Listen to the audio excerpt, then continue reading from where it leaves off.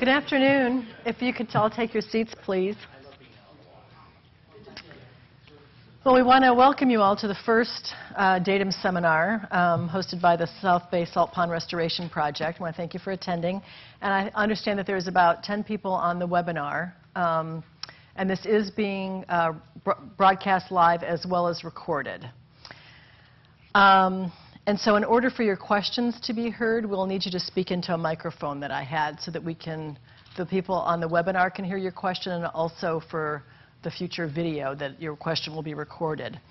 And Mark, Marty will be taking questions at the end of each section. She'll prompt you to, as to when she would like questions. So please hold your questions until then. If you're on the webinar, you should have received an email address to send the question to. Um, so go ahead and send your question when you have it, and then I will hold the question until Marty takes questions at the end of each section. And then I will read your question to Marty. Um, I, let's see, we want to thank um, the Fish and Wildlife Service for paying for the two new uh, gauges, one at the Dumbarton Bridge and uh, a long-term one at the Coyote Alviso confluence. And we also want to thank Ann Sturm from the Corps of Engineers for all her hard work in getting those um, gauges in line and um, uh, processing the data. So, oh, I didn't introduce myself. I'm sorry. I'm Laura Valoppi, the lead scientist for the South Bay Salt Pond Restoration Project. And I thought we would just do a quick introduction since um, it's a relatively small group. So, Marty? Yeah. Do you want to introduce yourself, Anne? Ann Sturm. I'm with the Corps of Engineers in San Francisco District, and I've been managing and helping with the contract that um, is using the Fish and Wildlife Funds to collect the water level data in the South Bay.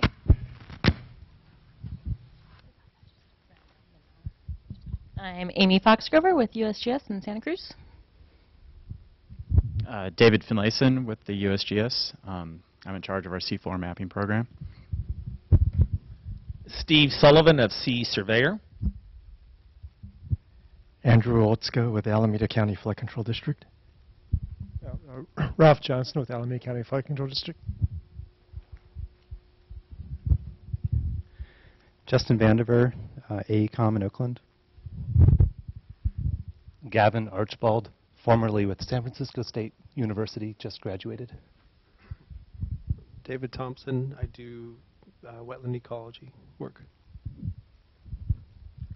Lisa Schile at UC Berkeley. John Callaway at the University of San Francisco. Uh, Jeremy Lowe with ESA PWA. Bob Battalio, ESA PWA. Michael MacWilliams, I do uh, 3D modeling of San Francisco Bay. Franco, I'm a Corps engineer, San Francisco District. Eric Mruz, U.S. Fish and Wildlife Service. Jan Thompson, USGS, Menlo Park.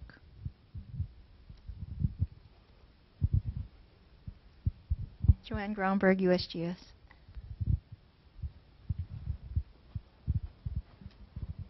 Noemi Alvarez, USGS.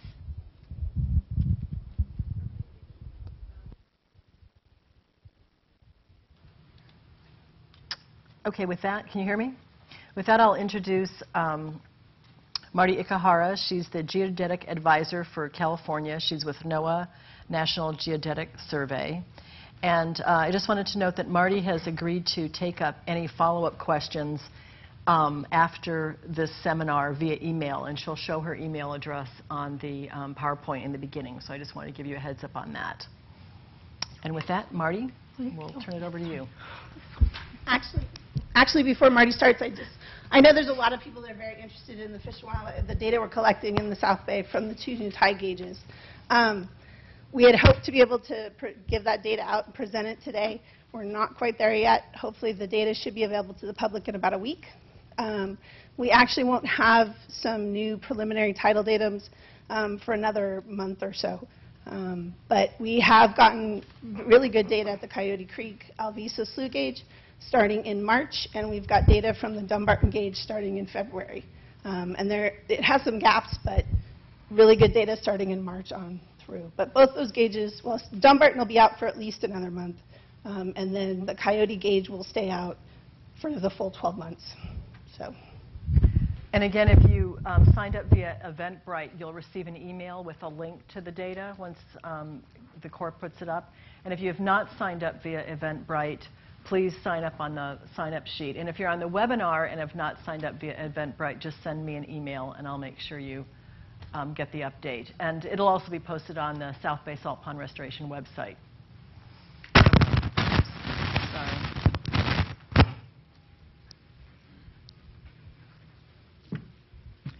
Good afternoon.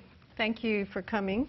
Um, my email address is here, and I think this is the only slide that shows that, so just want to make you aware of that. Um, we're going to uh, go through the geodetic vertical datum uh, component, and then after a break, follow up with the tidal datums in the second part. So I'm not going to read this, but this is the agenda, and I've changed it a little bit from what I had sent Laura. I, warned her that I might be um, revising as I go. But uh, I want to talk about the, uh, the geo geodetic datums in general, which include horizontal or geometric, and, uh, and then hone in on vertical datums. Talk a little bit about uh, GPS technology. It was very helpful, actually, the way Laura set it up, to have questions um, that you had uh, about, and uh, so I could uh, focus on that. And one of the things was questions about GPS and how it works and why might it not work, et cetera, et cetera. And then show you some examples of uh, geodetic uh, GPS data um, and the results we get from that. I think the point being that it's quite difficult to get vertical uh, elevations uh, with GPS. And then talk about geodetic control, focusing on the uh, vertical components. Um, I'll start off with showing you our resources. Uh, I work for National Geodetic Survey. I'm in Sacramento. And uh, I wanted to make you aware of what we have in terms of uh, previous presentations and webinars. Um, on our main page, one of the tabs is Science and Education. And under here, we have Workshops and Training link, uh, which have previous webinars and seminars available, both the PowerPoints and the entire audio presentation, uh, including questions and answers. We have a presentation archive, which is primarily uh, from conferences from everybody in NGS, and I plan to post this, these uh, on there as well. And we have online uh, learning resources. I'm sorry, that's actually really where you'll find the uh, webinars. If you want to sign up for workshops or training, then it would be the first link that I showed you. This is a sample of the online uh, resources. So I was thinking, you know, any one of these sections could is a two-hour webinar on its own. So what I'm trying to do is distill what I think are the salient points about each two-hour um, section to share with you. And it, it may get overwhelming at times, but that's because I'm trying to distill it down to, I think, the essence. But if you want to uh, learn more, then you could uh, go to any one of these. And you'll see, in fact, there's a geodetic and tidal vertical datums here. And so that might be the one that uh, you'd be interested in uh, most of these. So uh, I wanted to uh, start with what I'm calling the world according to Garpodyssey. Why do we care about what the shape of the Earth is? And it's because nowadays we're measuring vertical data with GPS. And so GPS is a three-dimensional system. We have to understand the entire coordinate system that GPS operates under to work towards fine-tuning the vertical component of that. So we're studying the size and shape of the Earth. Our Earth is represented in terms of geodesy by an oblate ellipsoid with an A-axis and a flattening parameter because it's not exactly a, a perfect ellipsoid. The ellipsoid utilized by many coordinate systems is GRS-80, Geodetic Reference System of 1980. And the World Geodetic System of 1984 is the ellipsoid used by the Department of Defense for GPS. And so we're translating GPS information um, into uh, datums that, that we utilize. Here's what we use in the U.S. and the datums that are associated with them. The original one that I want to go back to um, that you've heard of is NAD 27, North American Datum of 1927, and it was based on the Clarke 1866 reference ellipsoid. Then along came NAD 83 datum, North American Datum 1983, which is based on the geodetic reference system of 1980 ellipsoid. And these are the equations that give you the a-axis and the flattening parameters. WGS 84 is very similar, same size in terms of the a-axis, but slightly different way out here um, in the flattening. And I think it's like a tenth of a millimeter or something for the, for the continent of the U.S. Not very much different, and that's why we say it's roughly equivalent, um, those geodetic systems, those ellipsoids. Those are the ellipsoids. Now, what really is a datum? It is a geographic system for coordinates or heights. So a datum has an origin and or a zero reference point. Underlying the geometric datum system is an ellipsoid, which I just showed you previously, that represents the global shape of the Earth. I think of it as a, as a geometric datum as the continental shape, as bringing that global reference down to the continent that you're working on, and that has physical marks that basically you can visit. Um, passive are what we call our traditional monuments, the discs in concrete, if you will, that, are, that were what was established uh, early on. Active monuments now are basically continuous GPS stations, and I'll go into more detail about that. They've been related by geodetic surveying. They define the datum. They bring it down to earth, so to speak. So originally, back in 1986, when we published NAD 83, it was thought to be geocentric, but it wasn't based on GPS data. It was based on traditional conventional surveying, line of sight. So at the time, uh, we defined the NAD 83 as best we could. It was not geocentric, as we found out later with the addition of GPS data. Here's a representation, simplified, of the difference between NAD 83 versus an international terrestrial reference frame datum, coordinate system, or WGS 84. They are the same shape they're both based on, or all based on GRS 80, but the origins differ. NAD 83 is not, in essence, geocentric. It is not ECEF, Earth-centered, Earth-fixed. So that uh, is the difference between uh, one, those uh, systems. this graph, excuse me, this graphic illustrates the difference. Um, you may have heard that they can be considered equivalent, NAD 83, WGS 84, or ITRF uh, blank blank, number number.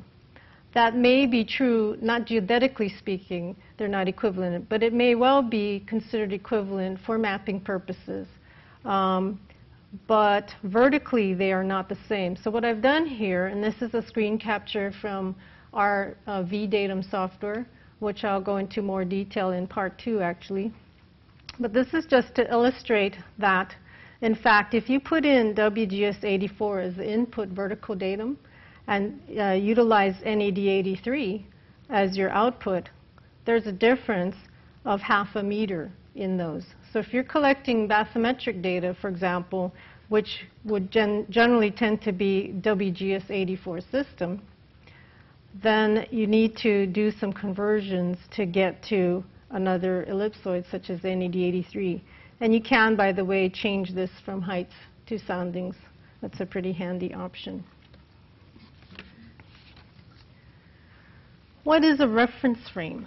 That was one of the questions I said I would try to answer on the, in the uh, agenda. It's a fundamental or the highest accuracy geodetic three-dimensional coordinate system that includes velocities. You know the Earth is a dynamic place. And these days, with the precision and accuracy of the equipment that we use, we see it too. We can't ignore it as we could certainly with uh, traditional, uh, conventional geodetic equipment. A reference frame can also be a datum. ITRF is a global geodetic system based on data from continuous GNSS stations. GNSS is uh, the modern terminology for any uh, satellite-based navigation system. GPS is the Department of Defense's system. GNSS includes many others. Russia has one that's up. China has one that's going up. India has one, and so on and so forth. So that collectively is called GNSS. Our NAD 83 datum at the national level is actually transformed from the ITRF system, which is de uh, defined by CORS, continuously operating reference stations. That's the set or subset of GPS or, or GNSS active stations that NGS uses to define the NSRS, the National Spatial Reference System. So the first transform using GPS data was in 1996. That's why if you utilize OPUS, which I'll go into in more detail later, solutions, you'll see the reference frame is NAD83 CORS 96. OPUS stands for Online Positioning User Service, and it's uh, an online service that by, whereby you can uh, submit uh, GPS data to us and get solutions back. So I'm not going to go into detail here. Um, this is sort of a complicated slide because I think it is complicated.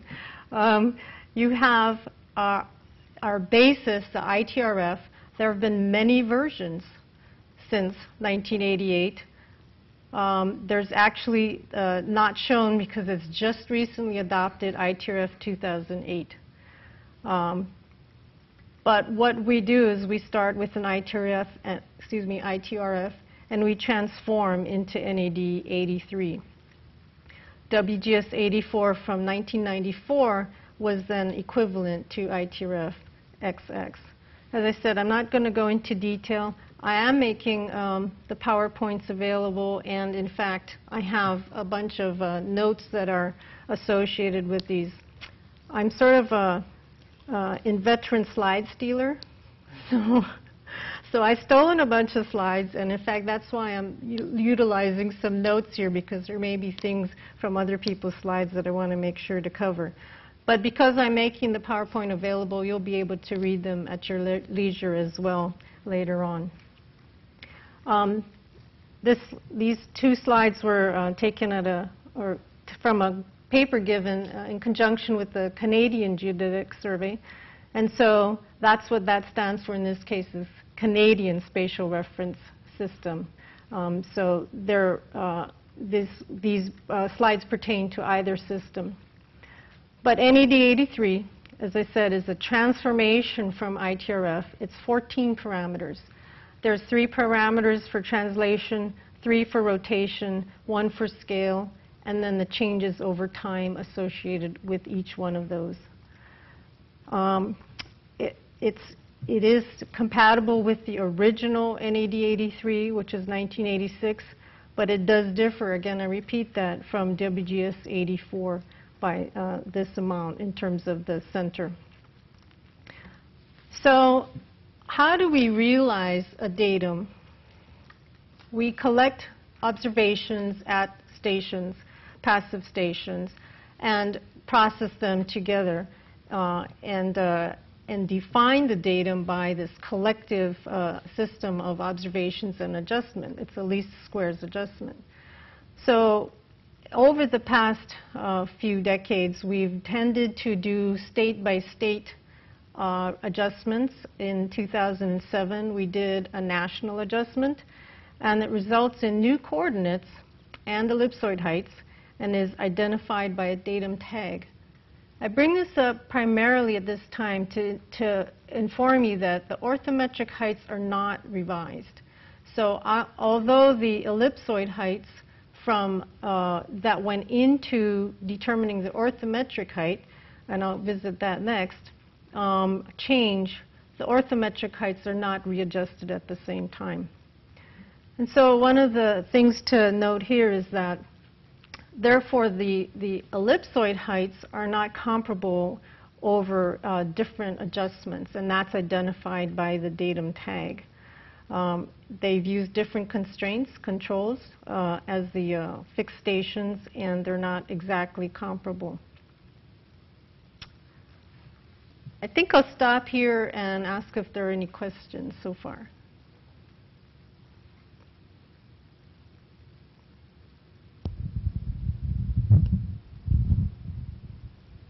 Okay.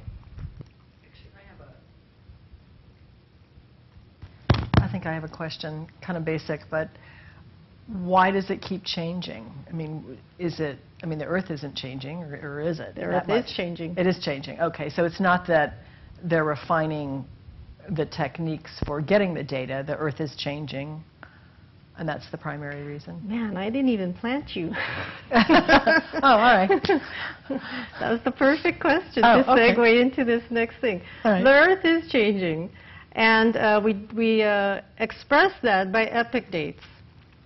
So because the Earth is changing, and because, in fact, there are different stations that go into basically the realization of the datum. Um, you know, let's take, take a, just a basic ellipsoid. Let's say you have six points that you observed with GPS, and you're saying this defines the datum. And then next year you take another six points and you define the datum that way. So your, your origin points, or one of them gets knocked out, or two of them get knocked out, so you have to add different points. It's a least squares adjustment that comes up with those coordinates that still best define the datum, but they're different points. So the numbers are going to change a little bit like any data, you know. So, but that's an excellent question. And so there are two types of epoch dates that in California that uh, are pertinent, I think. One actually reflects the time of the field observations, and 2002.75 is an epoch that's common to many stations in the South Bay, or was. Or it reflects the time of the recent national adjustment, 2007.00, which is our current epoch date because we had a national adjustment. Or, and this is not true in any stations in this area, but it is in Sacramento Valley, it was a local adjustment constrained to the national. Or it could, could have been a statewide project that was a, an adjustment by California Spatial Reference Center, which is based at uh, UC San, Die San Diego uh, Scripps. So an epoch date um, is important because our coordinates are changing so much. It's a crucial piece, crucial in fact, piece of metadata. Um, in fact, it's so crucial I hesitate to call it metadata. It's really, in my mind, data. It's a critical part of the coordinates. You can't talk about coordinates in California without including the epoch date. And in fact, for land surveyors, that is required. You must include the epoch date whenever you have any coordinates. Uh, whether you give them or, or, or publish them. So um, the most recent uh, statement, uh, I'll show you just a screen capture.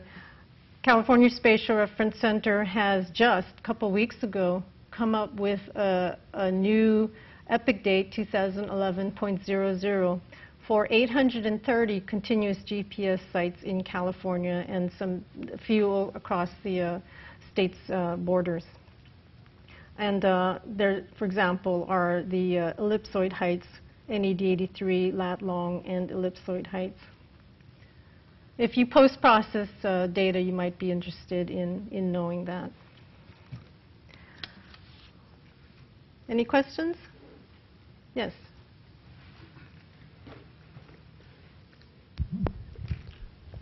Isn't it important that we all use the same datum? The same datum? Yeah, for comparability. Yes. So it seems like there's so many. I'm Well, it's certainly important to define or to state what datum it is. Um, there are ways to transform among datums, but I think in terms of vertical datums, I think it's important to use NAVD 88, which is the current vertical datum. I, I, sorry, I think I got confused because you said some weren't comparable. Mostly it was uh, talking about the ellipsoid heights, which I'll go into, but yes. They're not directly comparable. I mean, it's like i if you had uh, a value in ellipsoid height that was determined by one project, and then the, um, the statewide, say, um, realization of that datum changed, and you come up with a new number, you can't say, and you subtract those two values, you can't say, okay, because there's a difference of, let's say, a decimeter, then that point changed exactly a decimeter. That's what I mean by they're not really comparable, because it was a different realization, different control that went into the adjustment that produced that value. But let me go on to a little bit about what we're trying to do. As I said at the beginning, vertical data these days is uh, obtained by GPS measurements. GPS only understands this smooth, mathematically defined ellipsoid, GRS 80, which then is the basis for WGS 84. We're trying to be up here, the topographic surface. This is the real world land. We need to get from this to this. All we know is little h, or ellipsoid height, from GPS. We need to figure out what the difference is between this value, which is your geoid, and this value. And the reason is because the heights, as shown on this representation, are referenced to a vertical datum that was determined by leveling, which is referenced to this value, the geoid. All leveling is actually, that's why when you do leveling, you level up your instrument. There's a, if you will, internal plumb bob in your instrument that is dependent on gravity. So your, your vertical uh, measurements are really referenced to the geoid, which is the geopotential um, uh, of, if you will, a global mean sea level. So we are struggling to determine accurately the geoid separation, the geoid height. We've come up with several geoids over the years. We're currently on geoid 09. And what, uh, how we determine that is by uh, taking GPS ellipsoid height measurements that have been made at a benchmark that was leveled and finding out what that difference is and modeling that. But I'm getting ahead of myself just a little bit. Let me talk a little bit here, maybe a better illustration of, of, the, uh, of what we're trying to do. The datum, the vertical datum, NAVD88, is defined by leveling. So here's your plumb line with, from your level at the surface reference to the geoid. The geoid happens to be the geopotential line and there are several of them, that represents what would be a global or mean sea level.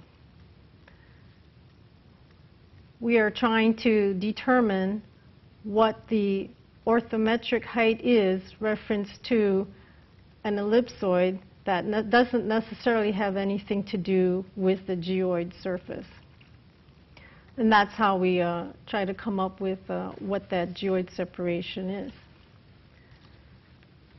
I mentioned that uh, geoid, or excuse me, uh, benchmarks are leveled, and you won't find very many benchmarks that actually have observed gravity. I look at a lot of data sheets. This is an NGS data sheet for geodetic control. I look at, as you might imagine, dozens and hundreds of data sheets. And in my 12 years in this job, I've not very, found very many benchmarks that have gravity observation. Most of the time you see a modeled gravity value, but every leveled benchmark has a gravity value, whether it's modeled or observed. So we are um, doing our best to come up with the um, gravity model that is based on uh, observations, as I said, GPS observations at level benchmarks. We start with a global geoid model. This is from satellite data, contours shown in, in milligals. And from this, we uh, develop a hybrid geoid model that is based on marks that have both GPS and leveled heights. This is a graphic I did for California comparing geoid 09 values, which are the smaller overlying dots, with what went into geoid 03, which are the larger underlying dots. We added a, a bunch of stations in Northern California through a, a large height modernization project there. But we went from about uh, 530 marks in uh, Geoid 03 to 800 something marks. So it was almost a 30% increase in the data that went into defining Geoid 09 um, in, in California. Any questions? Okay. What vertical datums are in use? Sort of a summary here. For orthometric, we have NAVD 88 and uh, NGVD 29. For ellipsoid datums, we have NAD 83. There are actually four uh, definitions of WGS 84. There are 11 definitions of the ITRF reference frame. We have non-tidal datums in the International Great Lakes datum of 1985. We have tidal datums, and we have island datums that are specific to each island um, where we have responsibilities. So these are based on mean sea level, but each island has their own datum because mean sea level, if you will, is a local phenomenon A couple of slides about NGVD 29 and, and NAVD 88. NGVD 29 was defined by referencing 26 tide gauges, 21 in the US and, and 5 in Canada. And we assumed, incorrectly, but we assumed that, or we defined a single vertical datum by averaging uh, the mean sea levels at each of these, these tide gauges and adjusting the leveling data to uh, accommodate that. So it was originally called a sea level datum of 29. It, it, uh, we changed the name to NGVD 29 to try to get away from the confusion um, that it was a mean sea level datum. Um, it was actually an average, and it did not uh, it did not, uh, the sea is not the same, but we uh, were able to average the data and uh, make it equivalent. And in those days, nobody was leveling all the way across the country but us, so it didn't matter to most people that there was this error that was actually incorporated into the definition of the, of the datum. So we changed that uh, when we defined the next datum, NAVD 88. And instead of uh, averaging, we started at one point and uh, referenced it to mean sea level at this point, uh, which is actually at the mouth of the Great Lakes uh, St. Lawrence Seaway, and then leveled across the country and uh, from this point and defined the datum that way. So NAVD 88 differs from NGVD 29 because it's not an average of sea levels at multiple tide gauges. These are the differences uh, that are uh, apparent in the two datums. So you can see as we went westward across the country, uh, the differences got to be significant. Over a meter here in Oregon, 85 centimeters here in San Francisco. I think actually in some ways we have it easy because when I get uh, questions about, hmm, I have a problem and it's about uh, 0.8 meters, I can usually pinpoint that it's an issue with which vertical datum was utilized. Where it's closer, you might not be able to realize that it's a, it's a datum issue, if you will. Any questions before I get into the GPS technology part? There's one there.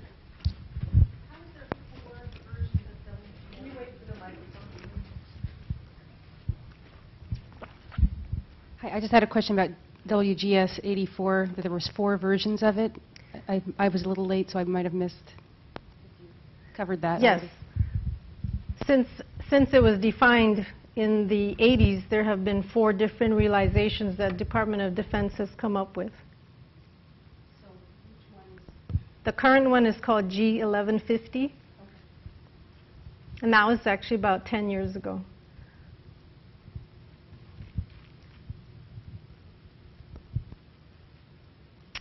Okay.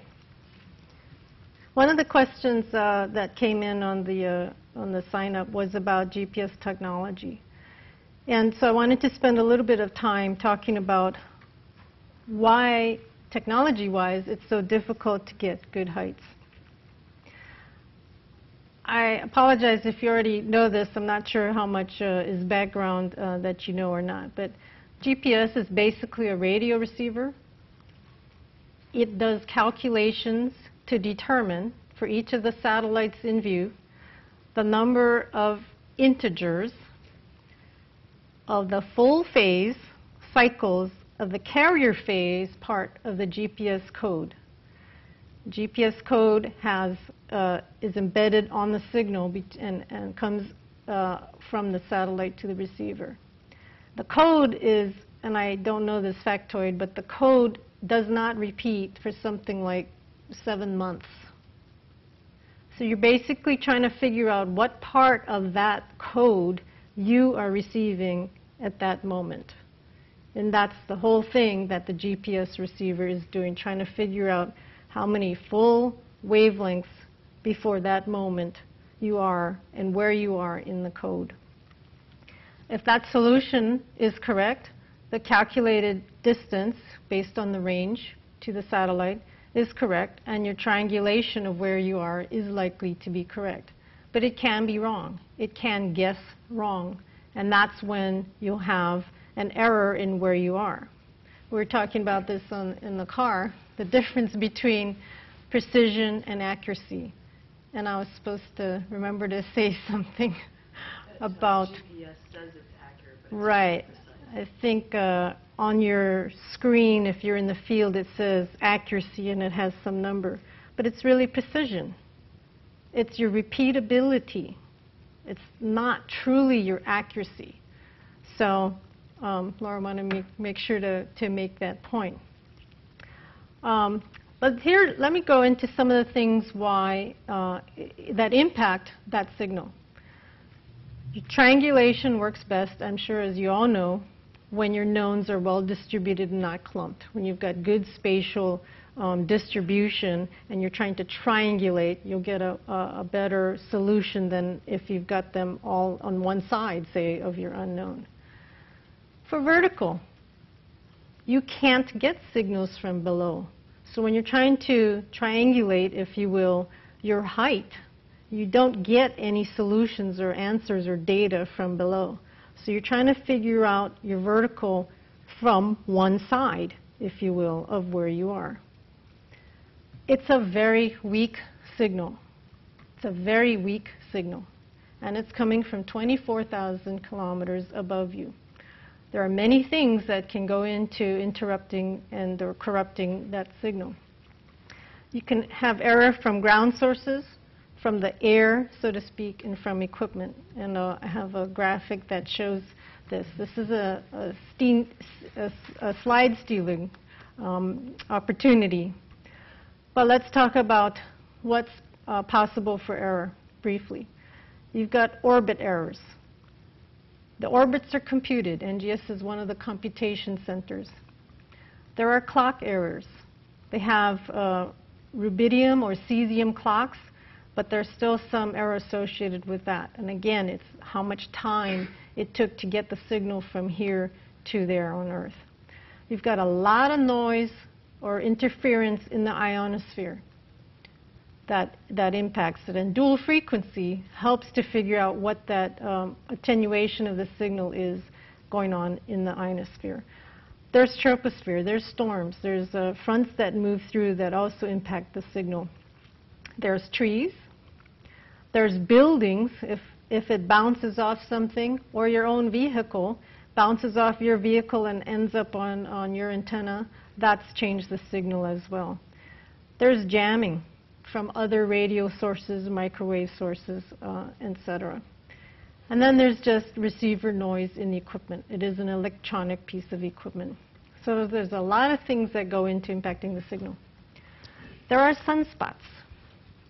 We are, there is an 11-year cycle of sunspot solar activity. This is a, a graphic that was uh, produced through um, 2007. And you can see here in 2011, we're supposed to be somewhere in here. So this range is somewhere about 75 sunspots to about uh, 130 or so sunspots in this year. Fortunately, the data are better than that. This is through 2011. So we're actually below the prediction, only about 50 or so, and so we're actually in a, a good period um, for, for the uh, sunspot activity. But that actually impacts uh, the, the possibility of uh, interruptions to the GPS signal. There's a, I took this from Steve Sullivan's report, verbatim, if I could. During collection of soundings, an unknown microwave source, possibly radar, occasionally disrupted the differential corrections. They found that putting metal shielding on the north side eliminated the microwave disruptions, or you think you did anyway, so. but there are always a, a, possibility of jamming or other radio sources, cell phone towers interfering it.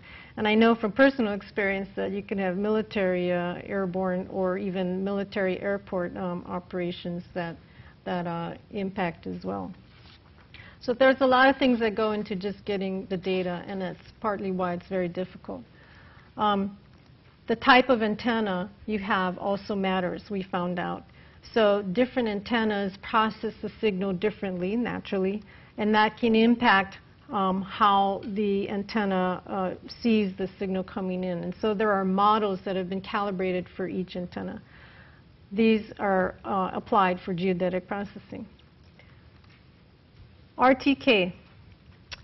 RTK technology, real-time kinematic technology, is generally limited to 10 to 20 kilometers between the two stations, a base and a rover, because ionosphere changes are significant enough that the solution could be incorrect. Horizontal calculations from that triangular triangulation are generally pretty good, but the vertical is much harder to get. Again, you've got your three signals at risk, actually. Each GPS unit signal can, has a, or can be impacted, and the correction that goes out uh, between the base and the rover. So repeating what I said earlier, the precision could be good, but accuracy is not as likely. If you see, for example, a picture a dartboard, um, might have all your darts clustered in triangle 1, but you were really aiming for 20. Your precision was good, but your accuracy was off. If you might uh, have your darts scattered, your precision is not as good, but if they center around what you're aiming for, then your accuracy will calculate out to be better. So in any GPS, redundancy is key. And for vertical, we feel that it's crucial to get multiple measurements. And ideally, with a different constellation because you're getting a different solution and you can average those out. so we do not use uh, RTK technology to try to compute geodetic heights.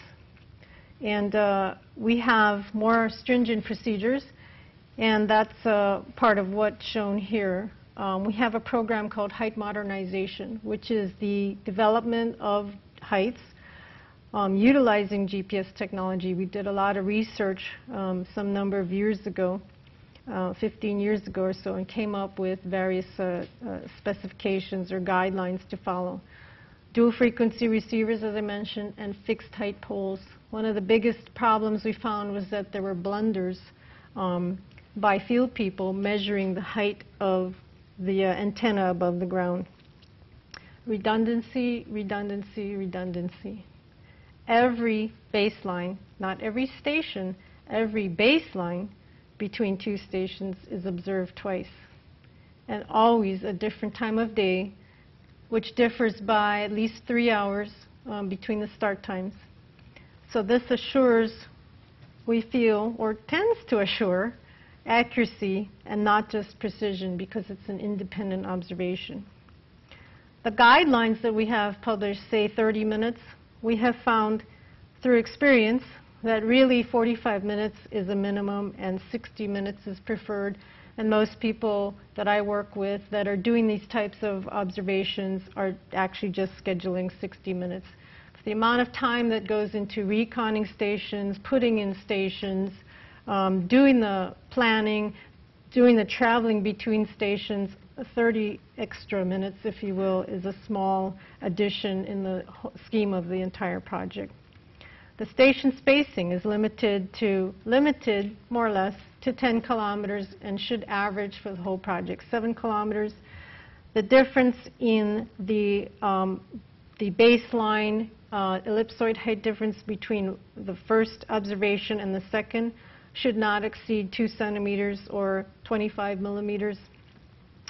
And for the uh, fiducial stations for this project, um, which are at 40 kilometer spacings, we do three sessions of five hours to get the really good lat long and ellipsoid height.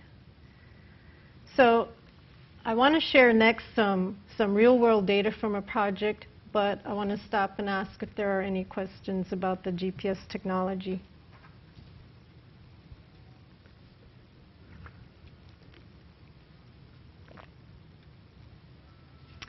Hearing none? Okay. Oh, sorry. Just a quick question about uh, the static. Uh, are you working between two GPS stations um, when you do static? You put two one on each side of you, of your unknown? The, these height mod projects have multiple stations, like tens of stations in a network. So you've surrounded your unknown with knowns? Yes. Yes, you have multiple unknowns, and maybe 10% of them would be knowns.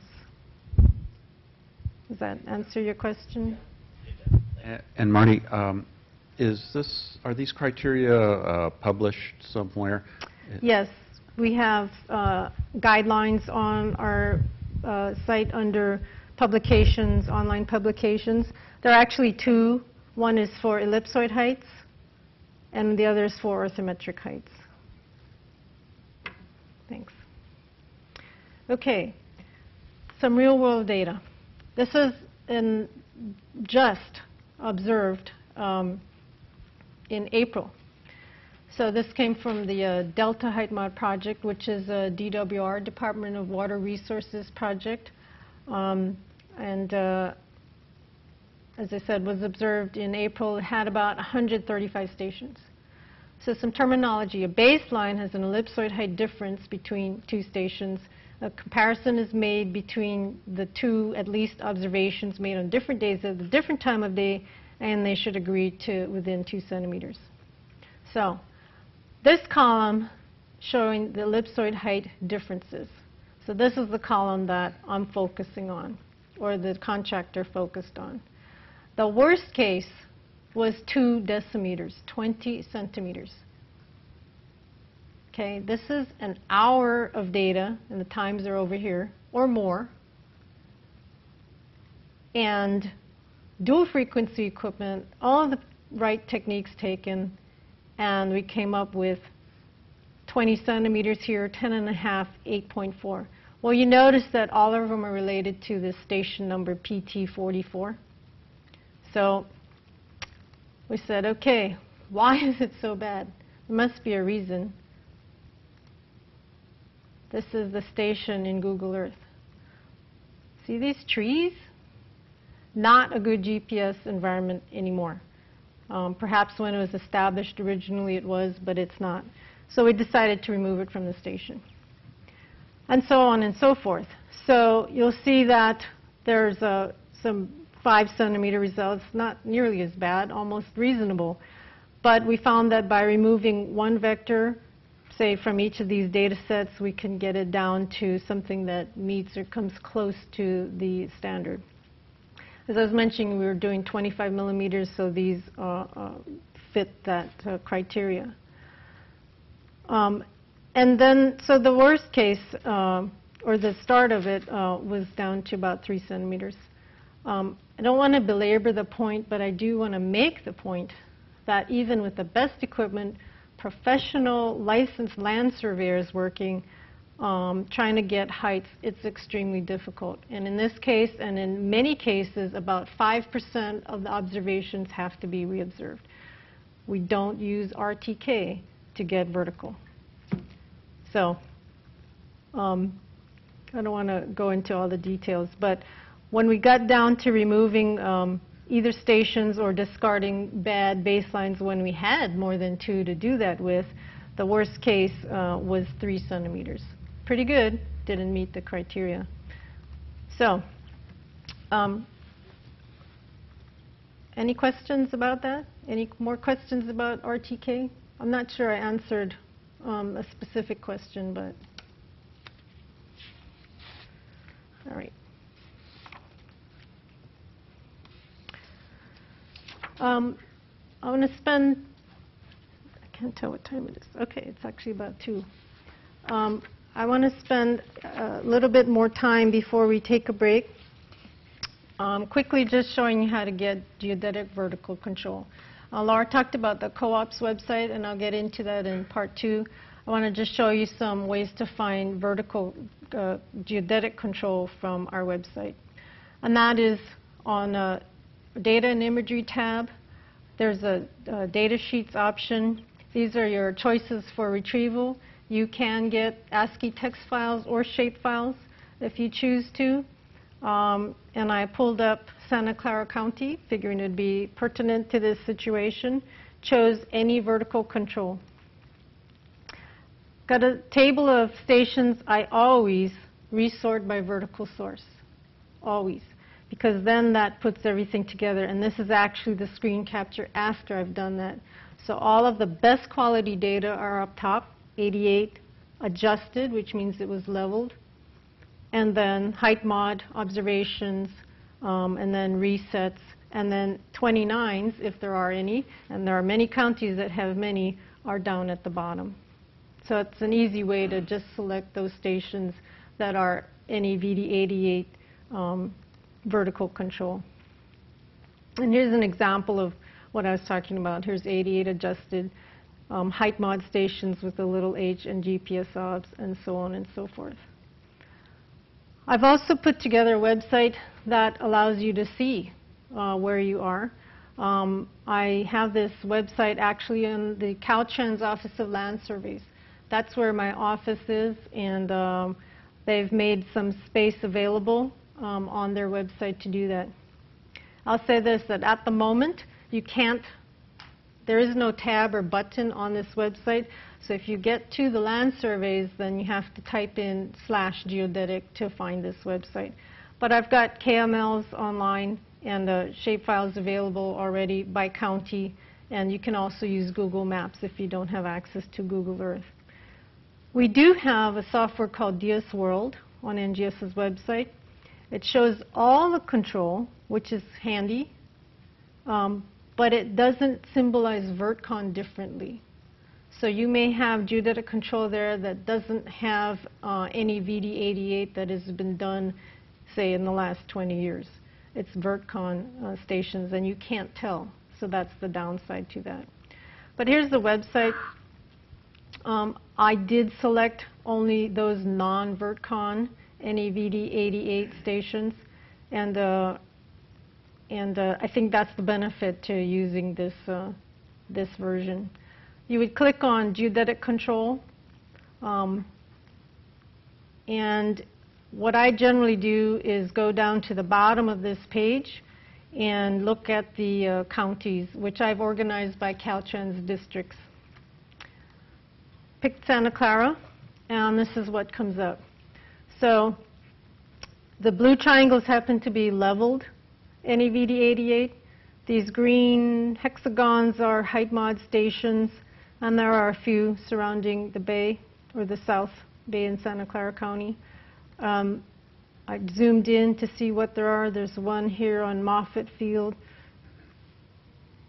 uh, one here right at the intersection of 237 and 101, um, Mission, et cetera, et cetera. But we can go into, uh, you know, you can explore this on your own.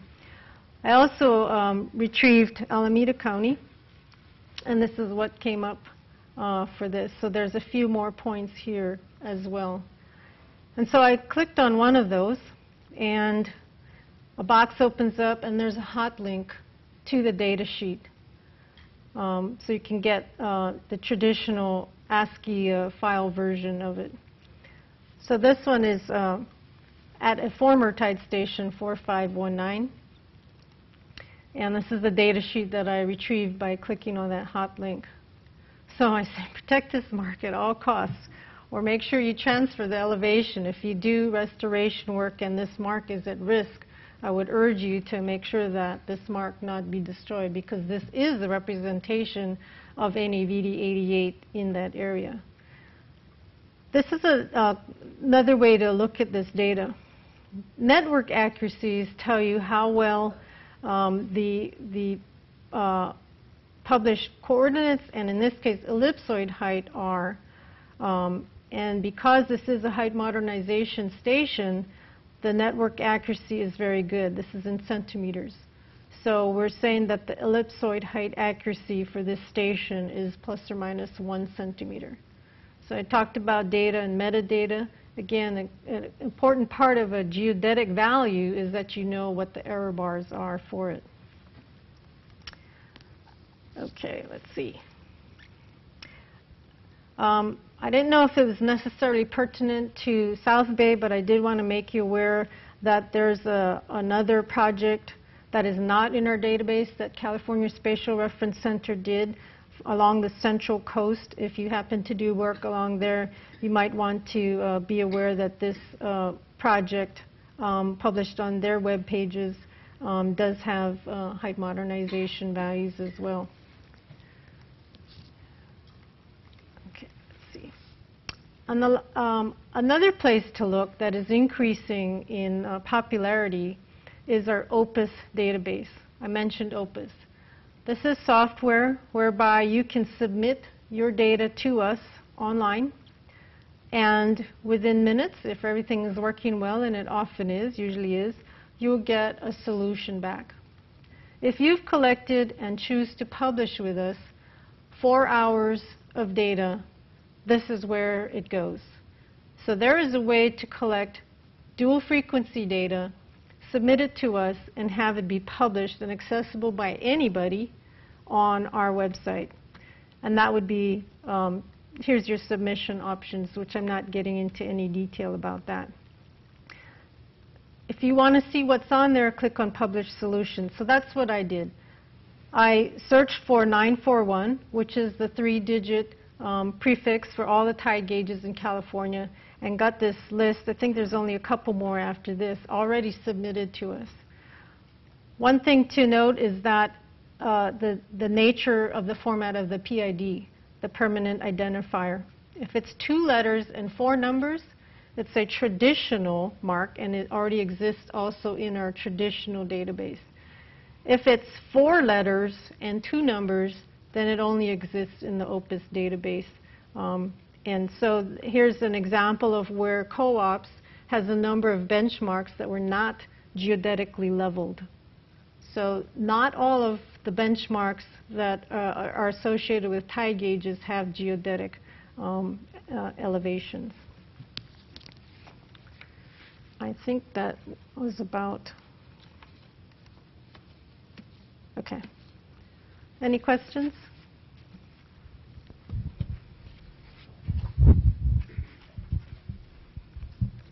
Uh, I was wondering if you could put the um, screen back up that shows where that benchmark was in Alameda County.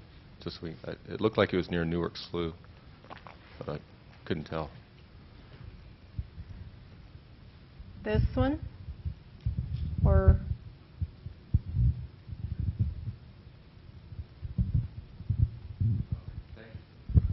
yeah. In Mountain View Quad. But yeah, that sounds about right. Newark, somewhere over in Newark. Well, actually, Newark Slough is right by your, Right here? There's Newark. So, yeah. so it's actually south. Uh, I don't know which pond that is. Actually, that may be a good time. Here's the Dumbarton tide gauge, right, Ann? And, because I don't, didn't have anything that shows where they are, and somewhere behind here is the Alviso Coyote Creek. I may have a, I have another slide. The other tide gauge is around here, Ann, maybe? Yeah, it's up just a little Right bit. there You're at A6, and it's at the confluence of Coyote Creek and Alviso Slough. So it's a little bit to your right, yeah, and Yeah. then straight up, right about there. Yeah. Okay. All right. Are people getting tired? Do you need a mental break?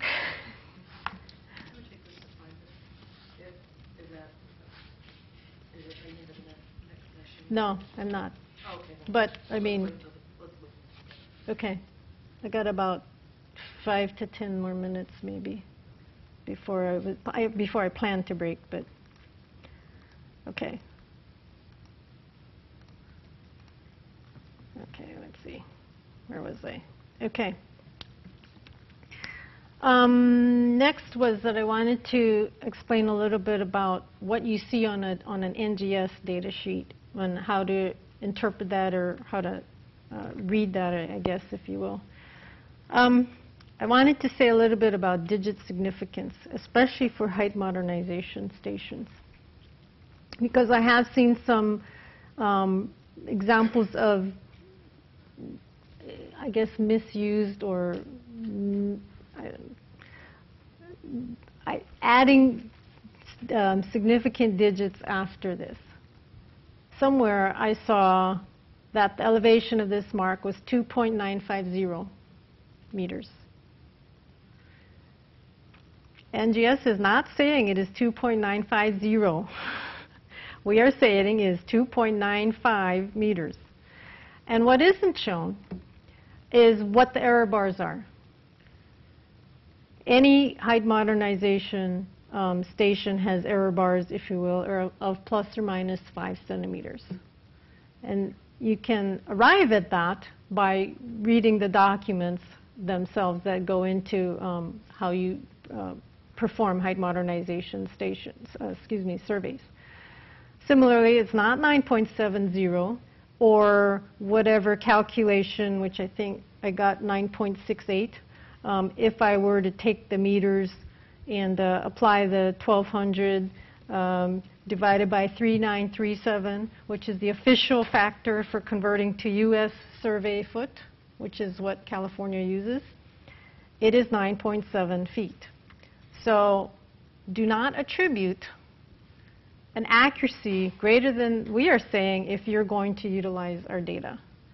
Um, and and so I just want to, I don't want to belabor that point.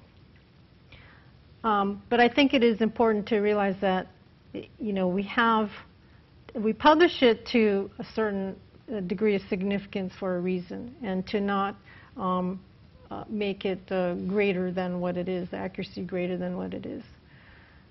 If you're trying to utilize um, data for, say, local purposes and just do relative elevations on your project, um, you would want to, um, and your leveling, say, you would want to certainly do that to millimeters if you can. But uh, do not add on digits of significance when there were none to begin with. Um,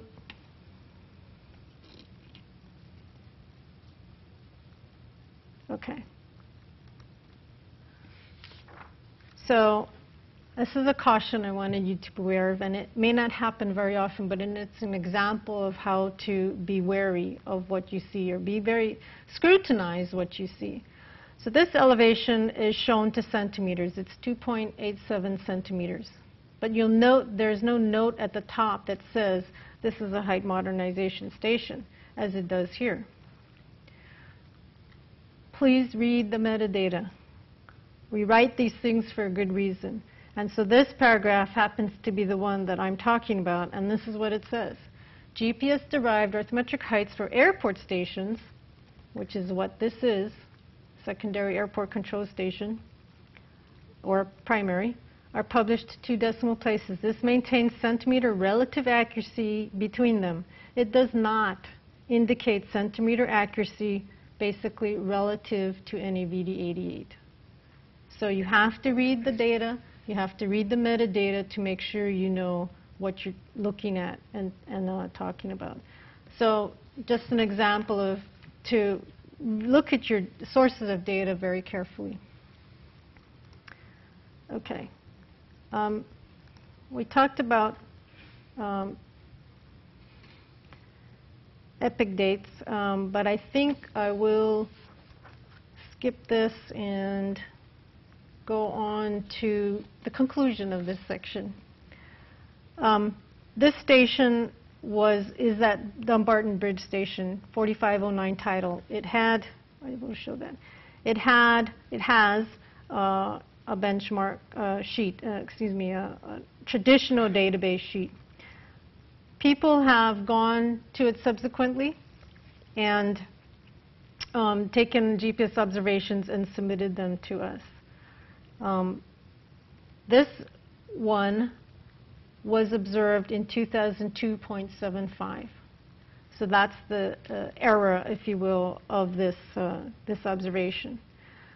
Subsequently, in 2007, August 16, 2007, um, a person went to this station and observed it, came up with an ellipsoid height uh, and an orthometric height, and it utilized geoid 03.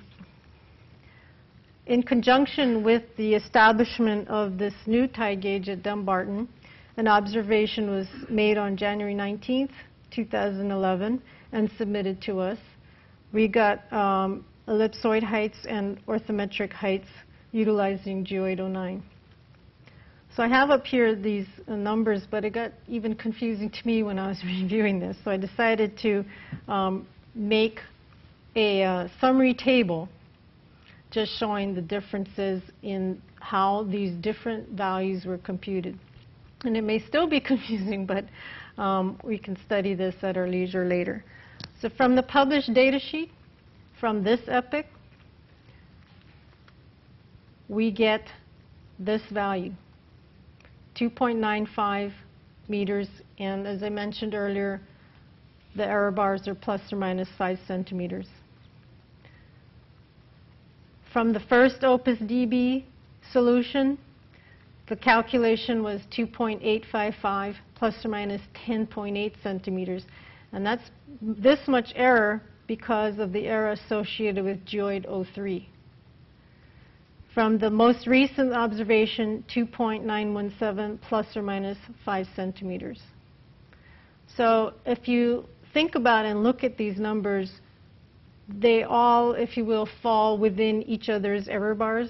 I don't know a better way to say that, but uh, I think that's uh, important to realize that with the current geoid uh, value of geoid 09 um, and four hours of data, you can get some decent results that are uh, have low enough error to reflect what we call the truth. This is the published value from a height mod survey from a least squares adjustment. So we feel this is, for purposes of this exercise, the truth of what the height of this mark is. So I just wanted to point out that there are um, different ways to arrive at, at the uh, elevations, and we are um, trying to improve the geoid model sufficiently so that ultimately you can arrive at a reasonable, accurate orthometric height by using some number hours of GPS data and the geoid model to come up with a valid orthometric height. Um, but it does take a, a lot of work, and, uh, and it's all about getting that geoid model to reflect what the differences are between the ellipsoid height and the vertical datum NAVD88. So um, I think I'm going to skip a few slides and just summarize what we've talked about and then take a break. Started off with the geodesy, explaining how we represent the Earth and how we define the reference frame and the datums. Talked about why it's so difficult to get heights in particular with GPS technology. Showed you some real-world data with uh, errors that ranged as, uh, as much as 20 centimeters. Um, and uh, how to find geodetic vertical control on our web pages, and then some of the things to look at when you're looking at our data sources. Any questions before we take a break?